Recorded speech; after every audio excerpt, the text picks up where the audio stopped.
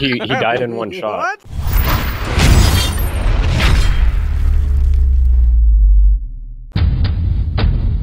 This video sponsored by Netmarble.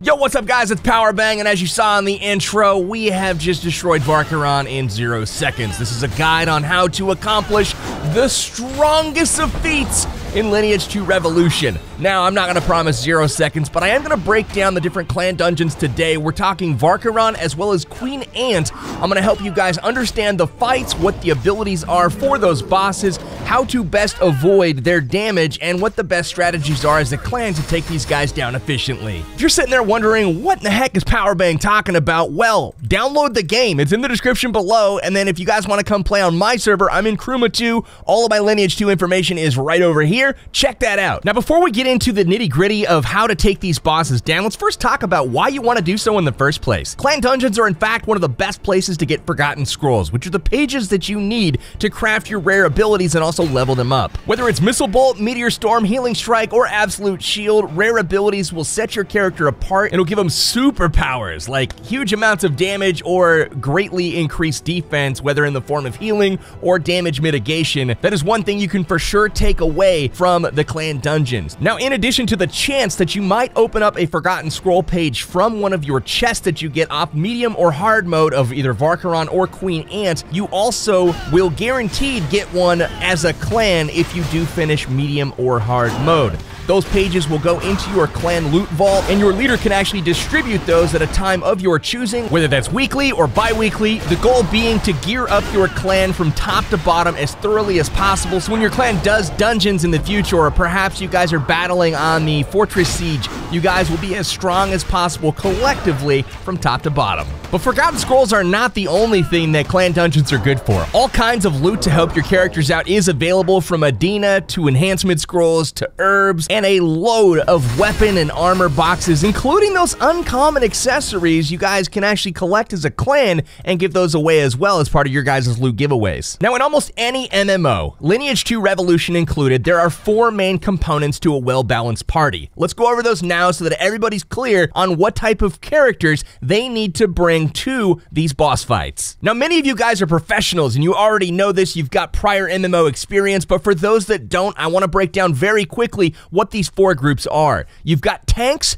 healers, range DPS, and melee DPS. DPS stands for damage per second. These are your damage dealers. You also have tanks. Tanks are those that have high hit points and high defense and that are designed to be able to taunt the boss or taunt the enemy troops so that they are attacking it and not the rest of your damage dealers, which are typically a little bit more fragile. So your tanks hold the aggro. Aggro is basically the aggression of the enemy bosses or mobs, and then the healers are designed to heal the tanks and also any other stragglers in the group who happen to accidentally take damage. If the tank loses aggro or dies, you don't want that to happen, but it does occasionally. That's why it's good to sometimes bring an off tank or a backup tank that you guys can taunt the boss back and forth between. So when one is taking just too much damage and is going to die, even with the healer keeping him up, the other can taunt the boss away from him to allow him to recuperate his health. And that is kind of the most complex class role in a boss fight. You've got your tanks and your healers. Responsibilities are a little bit, uh, you know, more on those classes than it is for the damage dealers. Damage dealers are simply there to burst down the boss as quickly as possible, take care of ads as quickly as possible. We'll get to that more in the Queen Ant fight. But the DPS classes need to stay out of harm's way for the most part, which means that it's very helpful for if a tank is facing a boss one direction, meaning the tank is maybe on the left side of the boss, it would be great if the melee DPS for the most part is on the right side of the boss. That way, if the boss is swinging his sword wildly in front of his body doing damage to the tank, he's not also cleaving or doing damage to multiple characters all at once, making the healer's job much, much more difficult. So let me put together a diagram on the screen right now that kind of shows you guys a, uh, a little bit of an example on how you might stagger your classes in a particular boss fight. The key thing to note in your party formations inside of clan dungeons is that healers can only heal those within their actual party. So you might have 20 people inside of your clan dungeon, and you might have four of those are healers, but if you don't have a healer in every party, or if one party is absent a healer, the tanks in that party, the damage dealers in that party, every member in that party will not be able to be healed, even if there's a healer in the clan standing directly next to them. Now that you've got your healers distributed properly within your different parties, make sure that your positioning in the actual dungeon is appropriate. You want your healers to be in range of your party's tank as well as your party's DPS. Now, your DPS needs to be separated from your tank so that the damage done to the tank is not done across all of your members. You want it to be as efficient as possible, and when your healer has to cast a heal, you want that healer to be focused specifically on the tank. So that's kind of how you should position yourself, and from a macro, a clan perspective, you want to make sure that your clan is not all stacked up on the tank as well. Make sure that uh, the, the tanks are kind of on one side and the melee DPS is on another. The ranged is also sitting at maximum range for, for the most part. So if any of the ranged DPS actually takes over aggro from a tank by doing too much damage, yes, you can steal aggro if you're a really, really hard hitting Phantom Ranger or a different range class. If that does happen, the more distance you have between you and the boss, the more time that there is to correct, realize that aggro has changed, and you can actually make adjustments, run away, kite the boss, make any kind of adjustment that you need to do before it's uh, all kind of gone off the tracks. It's time to get to the tactics. Let's get into the first dungeon that we're going to talk about today, and that is Varkaron. He's got four different difficulty levels. Very easy, easy, Yep. medium, hard. As the difficulty levels get harder and harder, Varkaron will actually have more abilities and more dangerous helpers he's going to bring to the fight. Now, Varkaron's got about five abilities that he brings to battle. First is his primary attack. If you're the one holding aggro, his primary attack, you're going to suffer the blow of his mighty weapon, and there's really not much that you can do to avoid it. Now, if you're a melee DPS class, just stay away from the tank. You can avoid it just fine. Now, if you're a healer or ranged DPS, just stay out of the range of Vark's melee attack and stay at max range for your personal abilities, and you should be just fine. Next, we've got what's called the Blood Blade. The Blood Blade is something Varkaron uses quite often, and it's a frontal attack with a cone area of effect damage in front of Varkaron. This means that for the melee DPS that are standing behind Vark, this is a very good place to stand, as that Blood Blade attack will not affect them. For most ranged DPS classes and healers, the Bloodblade is not an issue as their range does go farther than the Bloodblade's range. Next up, we've got the Blood Reverb, which is known as Vark's Jump. His jump ability is pretty much telegraphed by the red area of effect damage indicator on the floor of the dungeon. So when you see that, you want to make sure that if you're a ranged character, that you back up out of range as quickly as possible. There's very little time to delay, and if you mess up, you will actually incur a stun, and your character will be incapacitated for three seconds. The more you guys get stunned as a group, the more detrimental it is to your ability to keep the tank healed up and ultimately catch up on healing across your entire party. For the melee classes and the tanks, you can actually start to time when this ability is going to be because he does this in sequential order, but for the most part when you're starting out, I wouldn't worry about this too much. Just make sure that your tank and your melee DPS are not stacked up on top of each other, and just go ahead, sit through the stun, and continue damage as soon as you're out of the stun. At that point, it's the healer's job to top you guys off on health and get you back into the fight. Now, every so often throughout this fight, Varkaron will activate his Blood Shield. The Blood Shield will make him immune to all damage, and he'll actually spawn a bunch of helpers such as Dark Lords, which are very, very high hit point and high damage output mobs that will be there in mass to help him out. Now, while Varkaron is immune to damage, your whole clan and party and everybody inside the clan dungeon wants to focus their DPS on these ads to take them down as quickly as possible.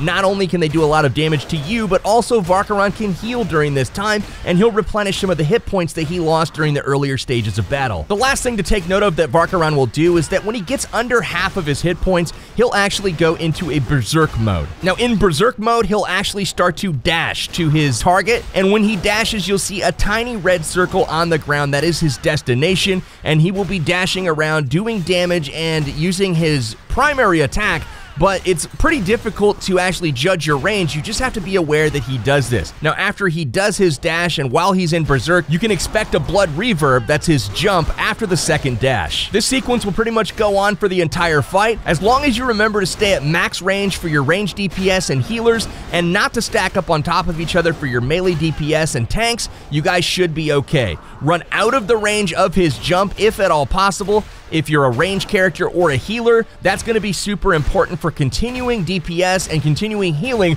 while your melee character is getting beaten up pretty badly as a melee character, unless you have a really good understanding of the, the order and the mechanics of the fight, it's very difficult to avoid the blood reverb. Now, as the ads continue to spawn, just make sure to burn them down as fast as possible and get back to fighting Vark, and you guys will be good to go. Collecting those forgotten scroll pages and that loot in no time at all. Now that we've talked about Varkaron, let's go ahead and focus our attention on the Queen Ant Dungeon. Now, the Queen Ant Clan Dungeon is a step up from Varkaron. In my opinion, the Varkaron fight is actually a little bit harder mechanically, but the the Queen Ant fight takes more CP to be competitive, and it's definitely for the higher caliber clans and players. Now, as far as loot goes, there's not a lot of difference between Queen Ant and Varkaron. The main difference is in the Forgotten Scroll pages, which are used to craft your rare abilities and level them up. If you're looking to build a Meteor Storm, Queen Ant is definitely the place to go to do that. If you're looking for Healing Strike, Varkaron is the better option. In each clan dungeon, you have the opportunity as an individual who participated to actually get a page as part of your loot chest, and the clan itself is guaranteed a couple of pages if you complete these bosses on medium or hard mode. So let's talk about the fight. Let's talk about the boss. Let's talk about what she can do. The premise of the fight essentially is you're going to do a bunch of damage to the Queen Ant, and then she's going to be a coward, and she's going to go underground and hide for a while where she's immune to all damage. During this time, she's going to summon a bunch of helpers, the Hive Mind, and they will come to her aid. You will have to fight them off, and ultimately this cycle will happen uh, several times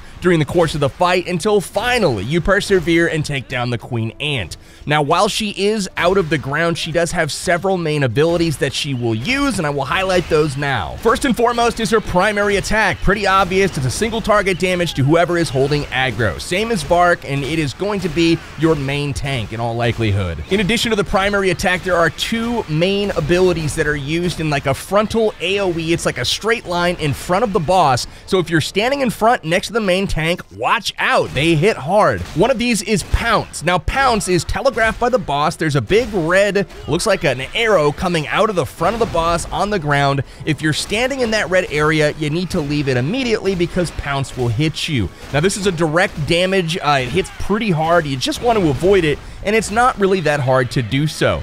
The next ability that she's going to use is Spit Poison. This is the one that you kind of want to be careful of. It's probably the third most dangerous attack on the Queen Ant fight. Spit Poison is basically the same frontal attack, except for this one does damage over time to your character, and this can put healers behind on healing very quickly if you're affected with this. So again, stay away from the Queen, attack it from the side, let your tank take the brunt of the damage. If you get hit with Spit Poison, this is going to do, uh, you know, thousands of damage a tick, and that is not something that you want to have happen. Next up for her abilities, you've got Pheromones. Now, yes, she is going to cast her Pheromones on the ground, and these come in the shape of little red circles that ooze like poison looking green and purpley clouds and this will do heavy damage over time to you. I'm talking if you stand in that for three or four seconds, you will die regardless of your strength. The pheromones mean business. So luckily, these are very obvious to see. What you can do is kind of call these out in chat. You can bind a command if necessary, or if you use a voice chat system outside of the game, just say, hey, yo, you're standing in a puddle, move. So those are pheromones. Watch out for those. She casts them on the ground periodically throughout the fight. As we kind of mentioned in the summary, the queen ant can also disappear and reappear. When she disappears, she goes immune to all damage. You can no longer damage the queen, and at this point is when a bunch of ads and summoned ants will come to her rescue. There are a bunch of different types of ads that come out. You first have the ant larva, you've got the ant soldiers, you have the nurse ants, and you also have the self-destructive ants. Now, to break down these different types of ads a little bit more, the ant larva are very similar to what you'd find in the Ant's Nest 1 and 2 Elite Dungeons. They don't do a lot of damage, but in large groups, they can be a little bit annoying. These are your lowest priority to kill. Next up, you've got the ant soldiers. Ant soldiers probably do the most damage uh, as far as the ant ads, uh, with the exception of the self-destructive ants. We'll talk about those in just a second. But as far as direct damage, uh, these ant soldiers do a lot of damage. And when they get together in groups, they can take you down really, really quickly. So these you want to focus on killing, uh, but not before you take out those nurse ants. The nurse ants are basically healers for the other ants, and those need to be a focus fire priority when you see them, because that just kind of keeps up this swarm and if the swarm isn't dead before the queen comes back up from underground, you've got double trouble. You've got the ads that you have to deal with and the queen ant at the same time, and that can get a little bit chaotic for sure. The last ad type is the self-destructive ant. Now, these are the fire ants, essentially. You're gonna see them, they're very obvious, they're on fire, and these can end your life in just one explosion if you're weak, and if you're a stronger character, two or three of these guys will certainly take you down. Fire ants are no joke. The way they work is they're essentially a ticking time bomb. If you do not kill them in a certain amount of time, and it's not that long, as soon as you see them, you basically have uh, probably around 10 seconds or less to kill them. And if you do not kill them in this particular amount of time, they will explode and everything in their radius will essentially die. That is not something you want, so number one priority always is the fire ants. If you can't kill them, make sure that you have somebody kite them away from everyone else. It's basically shooting them to get their attention and moving away from the crowd. To have these guys go off in a crowd can end the raid really quickly. To have them go off on just one person, eh, it's okay. So now you know all the Queen Ant's abilities. Let's go ahead and arm you guys with some tips on how to defeat her. There's actually two main ways that my clan has actually used to make this happen. The first of which is basically a kill on sight method that is really, really good for stronger clans. Stronger clans that have a lot of damage and can kill the ads very quickly when the Queen Ant goes underground probably want to employ this strategy. Basically, the way it works is as follows. For both methods, you want to make sure that you have a healer in your tank's party, obviously, and the tank is going to face the queen away from the main group of people towards where she spawns. You want her to face away so that Pounce and Spit Poison do not hit the main group of melee DPS and even some of the range DPS that may be close to her. Every single time she disappears, with the exception of the main tank, every single person in the raid will go to the ads that spawn towards the actual uh, player spawn and all over the map. You want to take out the ads and focus fire them down as quickly as possible so they all die before the queen ant surfaces and is ready to fight again. The main tank should stay by where the queen goes underground so when she surfaces he can engage her and pick up the fight right where it left off. Once the players have finished off the ads, then they can return to the queen to engage her in battle and do more damage until the next time she goes underground. Rinse and repeat this strategy until she ultimately dies. Word of caution,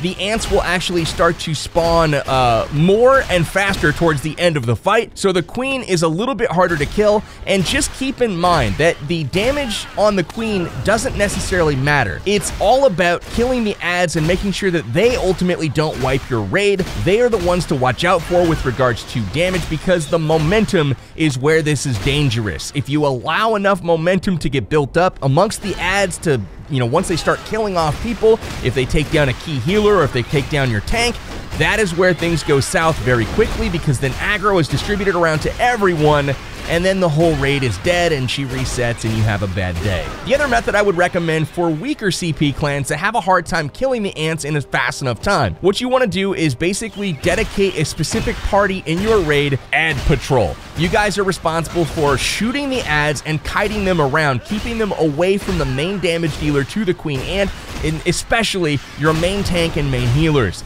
Once you guys have kited these guys around, you're kind of doing damage to them the whole time to keep them interested in chasing you, but ultimately this strategy can backfire if the people that are kiting all of the ads around die or they get pinned between the ads in a wall, which is kind of frequent. Uh, you can get pinned between the pillars, between the walls, all kinds of stuff. Then it's really, really bad because the next person with like high aggro, if those people die, is typically the main tank, and that's where all of those ants go. And if you're not killing him, it can build up a ton of of ants, a ton of momentum, and it's really hard to overcome that. So that's a strategy that we did use for a while. I like the focus fire much better, but you guys can, if you're feeling crafty and sneaky and you're to try something that's a little bit above your punching weight, remember that you can kite the ads around and not really kill them, but just make sure that you're organized in capturing their attention and directing it away from what matters, which is your damage dealers. So that's pretty much all the detail that I have on the Queen Ant fight. I hope it was sufficient, and I hope you guys are now armed with the tools you need to be successful on your clan dungeons. Varkaron has four main modes, as we talked about, and he goes all the way up to 39.2 million HP on the hard mode, which is quite a bit of HP. But if you look at the Queen Ant, she goes all the way up to 67.5 million, so she almost has double the amount of hit points of Varkaron. So it's definitely a higher CP fight. I know it, it recommends 439,000 uh, combat power to go into the Queen Ant fight. You don't really need that much combat power. It's just going to take longer. I do recommend that you guys start getting, uh, you know, close to the combat power recommendation before you try to attempt it. At least make sure your main tank or whoever's holding aggro is close to at where they should be when you attempt these fights. So now you guys are armed with all kinds of data to go ahead and take these monsters down in your clan dungeons. So get back out there, share with your clan these videos to make sure that you guys all have all of the information necessary so everybody's on the same page. And uh, tell me in the comments what you guys' best time is on these dungeons. I know Varkaron for us, we do pretty much in zero seconds on uh, very easy and easy. Uh, but on hard, I, I want to say it's about a minute on hard. And then our Queen Ant on hard is also also just getting below five minutes right now. Uh, so it definitely is going to get lower and lower as time goes on and the players get stronger. But I want to know what your guys' best times are so far. And if you haven't downloaded the game yet to play Lineage 2 Revolution and actually, you know, record a best time, do it. Links in the description below. Thank you to Netmarble for sponsoring this video. That is all I have for this one. I will be back in the near future with more Lineage 2 Revolution guides and videos. This is Power Bang. I'll catch you guys in the next one.